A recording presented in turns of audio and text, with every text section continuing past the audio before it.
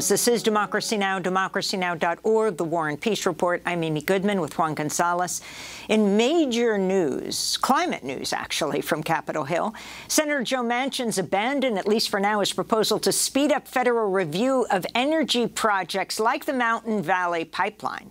Manchin wanted to shorten public comment periods on proposed fossil fuel projects while weakening environmental and public health laws. His proposal would have nearly guaranteed the approval for the Mountain Valley Pipeline in West Virginia. On Tuesday, Manchin requested his proposal be removed from a stopgap funding bill after it became clear it didn't have enough votes to pass. Manchin's proposal had faced fierce opposition from climate justice groups. We're joined right now by Bill McKibben, author, educator, environmentalist, founder of the group Third Act, which organizes people over 60 for progressive change, also founder of 350.org. His new piece, Score to Win, Manchin's big oil gift basket scuttled for now. Bill, Thanks so much for joining us. You were protesting in Washington, the World Bank. You wrote this piece about this latest news that surprised a lot of people, the scuttling of Manchin's bill, and you're doing this in the buildup to this massive storm hitting Florida. Well, it's a, Amy, a tremendous reminder of why we have to do this work. Uh, Sean from WMNF did a great job of describing the climate implications of Hurricane Ian everyone just needs to remember that the ocean is a foot higher already than it was the last time a major hurricane hit the Tampa area. Uh, our job now is we can't prevent that foot. We've got to keep it from getting much higher still.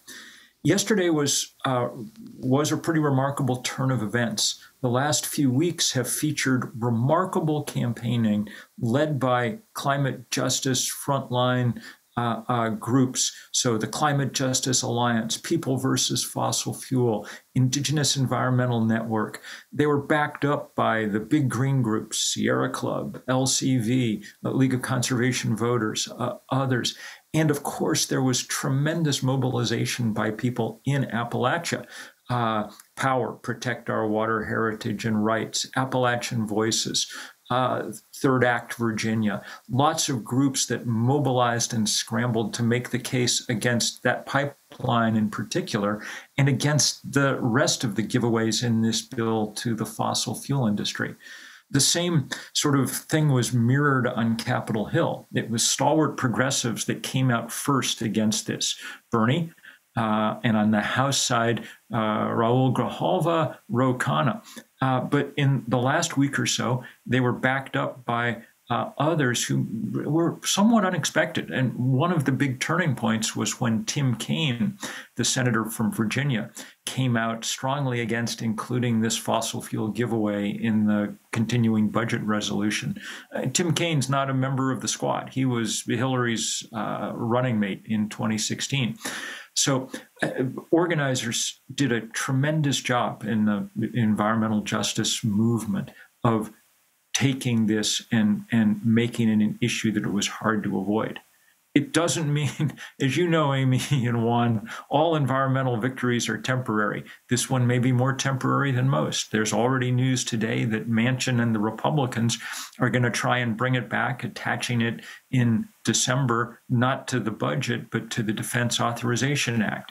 And, uh, you know, so uh, look, big oil never sleeps and it never gives up. But for a day anyway, an impressive win by uh, grassroots environmentalists. Uh, and Bill, this was uh, surprising because there was supposedly a deal between Manchin and uh, Chuck Schumer in terms of uh, uh, of this the, this permitting expediting permitting processes. What what does this say about Schumer's ability to control his own his own delegation? Well, I don't. I mean, I don't know that much about all the inside baseball here. Uh, but I do know that when senators got to look at the thing, they understood. You know, I mean, it was just hideous deal.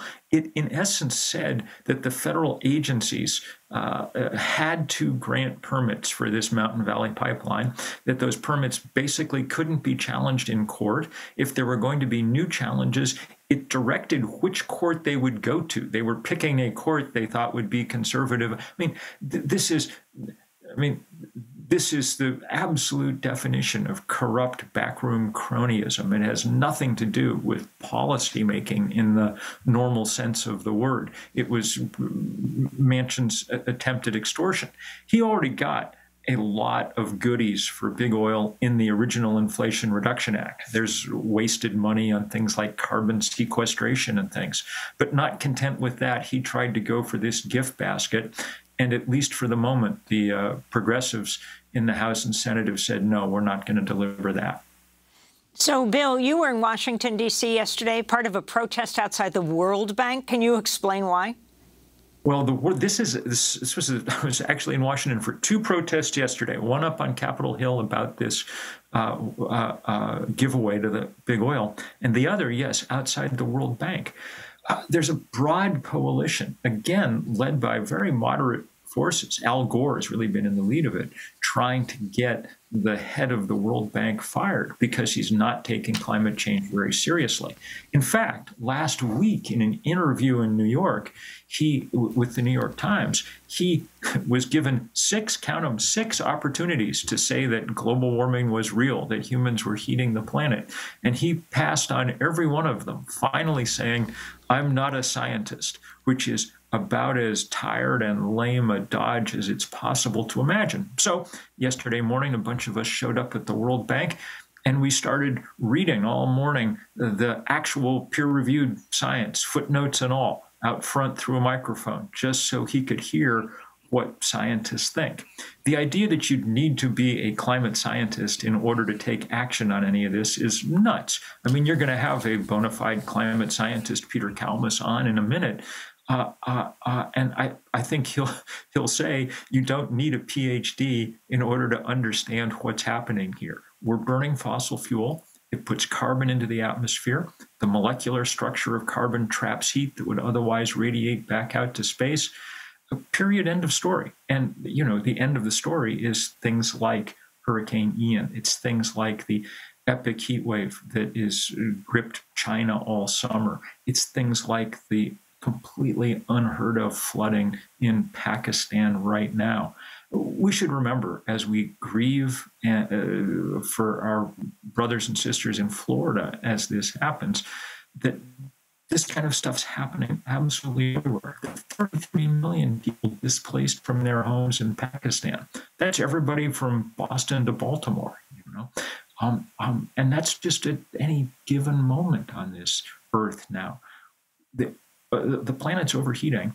And we need people like the president of the World Bank who are in positions of serious trust to actually take it seriously. That this guy isn't taking it seriously shouldn't come as a surprise. He was an undersecretary of the Treasury in the Trump administration. Before that, if you look at his biography, it reads chief economist for Bear Stearns in the six years before it went bankrupt. Well, uh, we cannot afford for the planet's climate system to go bankrupt. So we better get somebody else in there who's a little more on the ball. And Bill, in terms of uh, taking uh, the issue seriously, how do you assess the uh, uh, uh the initial years of the Biden administration in terms of of attacking the the climate crisis head on? Well, I think that they've made a good faith effort. Juan. um, and it'll be interesting to see what happens now. Uh, they were they, they they they have been operating with one hand tied behind their back because they desperately needed Manchin's vote to get this what eventually became the Inflation Reduction Act, and that meant they couldn't use executive action uh, without fear of offending him. So after the election, either the Democrats will have no power at all. They'll have lost the Senate and the House, or they'll have picked up, one hopes, a, a few senators.